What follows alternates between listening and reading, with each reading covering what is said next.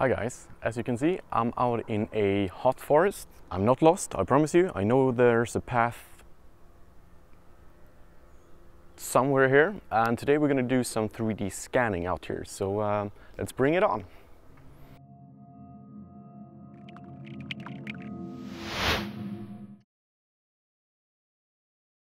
So today we're using my two favorite techniques. We're going to use photogrammetry and show some uh, simple and cheap apps to run that data. We're also going to, also going to do some basic uh, 3D Systems sense scanning, which should be pretty straightforward. Now you might have seen that there's some interesting background here and it's actually we're on a location where we have a forest fire not too long ago. I think it was a year or two ago.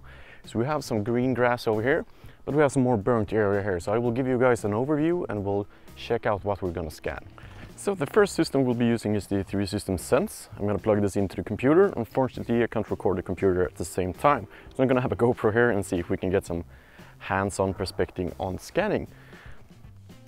Now, the scanning here isn't really going as planned. You can see I'm, I'm having some issues. I'm trying to uh, get some good tracking, but right here you see the sun flare. So the issue here is too much sun. I'm gonna go back and do another video just on the sense itself because I think it's interesting uh, how easy it is to use as soon as there's not too much light.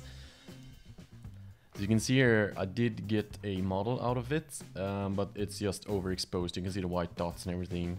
Uh, it was really, really difficult in sharp sunlight, so remember that always do it in shade. Alright, so that didn't exactly go according to plan. I think one of the issues is that I have a little bit too much light right here. You see if I step in here, I'm overexposed. So that's one of the difficulties with using a scanner. You should have a overcast. That's the best typical scenario. So I'm gonna hold off with the Sense scanner and actually do more of a in-depth on that a little bit later. I'm gonna try on some rocks as well, but the tree trunk here was just too bright. We need to find a more shadowy place. But with that said, we're gonna try uh, a photogrammetry and we'll check that data later. So when you're doing photogrammetry, you wanna use a lens that has a fixed width. So this is a 50 millimeter lens. That helps with everything from targeting, helps the softwares later as well. You want to use it in autofocus if you can. You want to use a tripod if you have, um, yeah, just always use a tripod. And you want to get the sharpest possible images. So use a large aperture, so a wide uh, focus field, but also with a time uh, um, uh, trigger, so maybe two seconds of a trigger. That makes sure that you can step away so you don't touch the camera when, when it's taking a picture. You want to neutralize the exposure, so you're going to have a wide exposure. You want to photograph in RAW, so you have the more data. Even if the software won't process raw data, it's always good to have that. And there's always, of course, a few steps when, uh, when doing photogrammetry is that you document. So you want to have something to document outside of the process. So for example, if I'm scanning this area, I need to take just regular pictures. So when I'm in post out of the location, I want to have a possibility to check the data really. Just make sure that I understand where everything is and so on. Also, you want to back up your data and you want to check your data on site. So with photogrammetry, that can be a little bit more difficult because it's taking a lot of processing power, but just check through your images, make sure that they have been focusing and that you have a good overlapping amount of images. So I'm going to photograph this area and uh, you guys are coming along for the ride.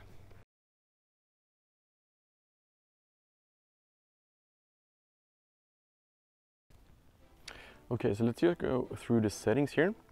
I'm gonna use a aperture based. So I'm gonna put the apertures a little bit more. Use a little bit higher ISO, but not too much. And I'm gonna remove my ND filter because I won't need it here. So that should help with the exposure a little bit. So now we're getting some, some good um, shutter times here, as you can see. And I'm using RAW. I'm using a, um, should be using a single shoot and for the um, metering, I want to have a evaluate metering so we get as much as possible. Let's just take a picture here, put it to autofocus. That's our picture, it's a little bit far away. Maybe I want to underexpose it just a little bit. All right, so let's do this. Let's go and grab some photos. And this is of the tree trunk. I actually wished it was a little bit more shadowy. Let's, let's take another tree. Let's take this one here. This one is in shadow still. Let's take a photo.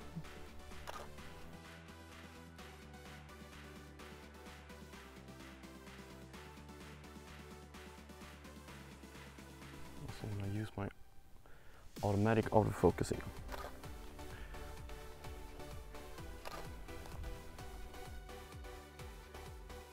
Also a little bit too sunny here. That's one of the issues. You want to have a neutral lighting and you get that best when you have a overcast. I'm just walking around, taking pictures on the ground, trying not to take too many because I want to use one of the free softwares as well. Ooh, that's a bright image. Using the free software will allow me to, um, yeah, just to get, get more of you guys into photogrammetry.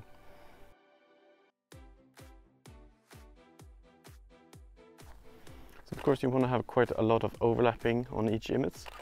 So don't photograph like you're going to document it. You want to have, you see this image and then the next one, one. So let's just have a look at those. You see there's quite a lot of overlapping and that's good for the scanning. And taking some from more above is also good, so you get some good aerial aerial shots. Yep, something like that. Let's say this tree stump here, stump, I think I need to do some extra on that one, right? Let's add some details here.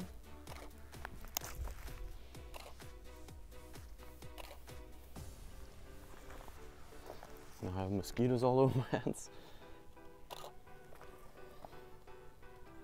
Now the sun is getting here again, it's starting to make issues. So we're gonna keep there. Um, let's just have a look at the images. They look pretty neat. There's a lot of them. Hopefully the scanning software will be able to deal with this. Uh, we'll make a first attempt. We'll see if the software can, can handle that data. But yeah, it is a little bit too, uh, too sunny, so um, I think that's all for this location.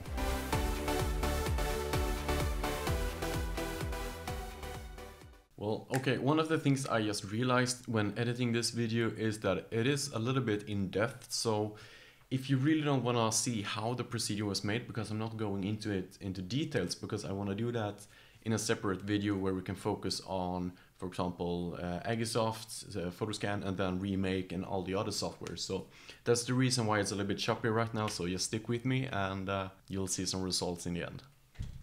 Alright, so the first thing we're to do is just check these images. So for example, if we just look at this one here, you can get some info about it. I'm just going to open it here in Photoshop.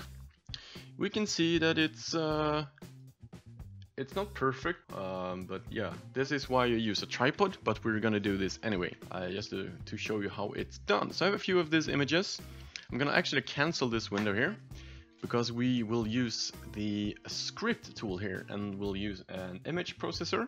And in here I have my folder, uh, so I'm gonna select that folder with the scans. So what we want to do here on step number three is actually save as TIFF. So that's the format that uh, Agisoft uh, will handle. I will of course use some other softwares as well.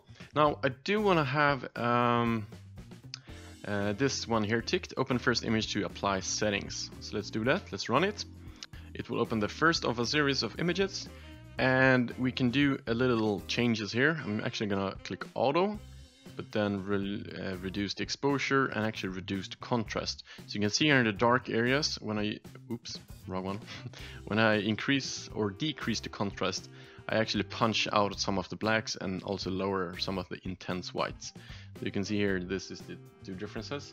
You don't want to do it too much um, if you want to keep colors. So you can see here in this corner, it's important that you don't do this too much if you want to keep some of that coloring in the image. But let's just do something like that and we'll click uh, done. Now I've already done this, so I'm not gonna bore you with with results. So we open up uh, Agisoft, and there's actually a super simple workflow. Well, the button is even called workflow. So we'll we'll add some photos. I have my TIFF images here. I'll open all of them. Just gonna think a little bit. There we go. So now we have a bunch of images loaded here.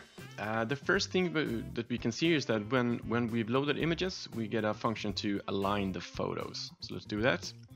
I'm gonna go with medium. Um, not much more than that. This will take a few minutes. I'll probably pause the recording.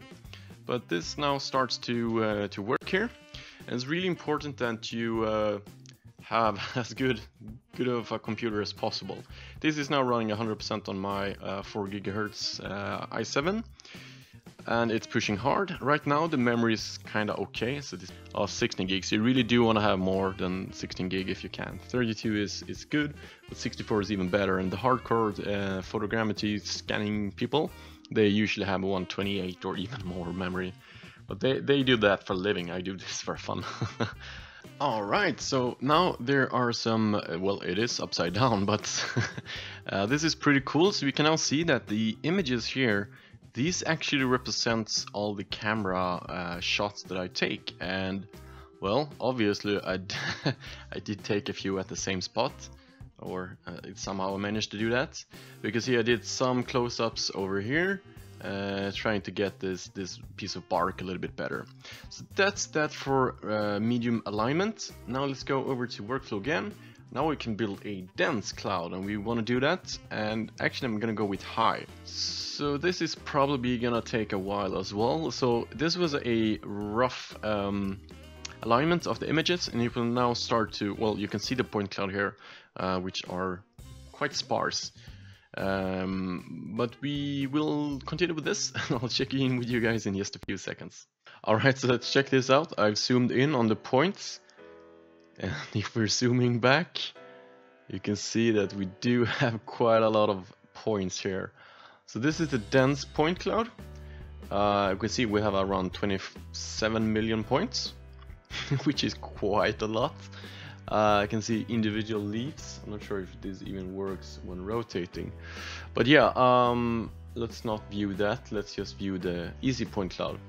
So that's that. Now the final step before we, well, could do more steps than that, but the final thing I want to do is during workflow, we're gonna build a mesh. There are a few things here we could do. I want to use the dense cloud, of course, with the source data, but I'm thinking here if we should do a high or a medium. Start off with a medium, right? So 1.8 million, that's probably okay. I guess that this is gonna take a little bit Alright, so this is now the model. I'm not sure how much I can spin it, but hopefully a little bit. We can see as, as soon as I take away the texture, it's a little bit more tricky to uh, uh, to see. So it's not super uh, super detailed, and that's mostly because of my blurry uh, blurry uh, what's it called uh, images. Okay, so when that was finished, I can now build a texture. I have that in the workflow, so let's just do that.